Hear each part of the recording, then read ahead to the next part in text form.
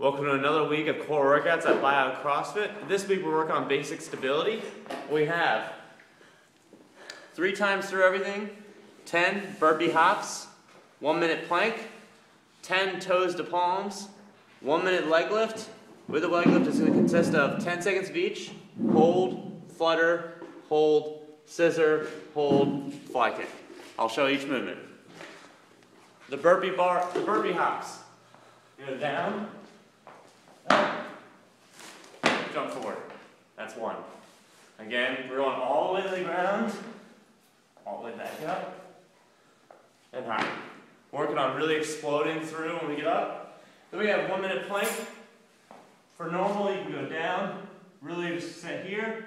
We're working on the basic stability. If you want to increase the difficulty, you can reach or alternate leg and hand. Very controlled.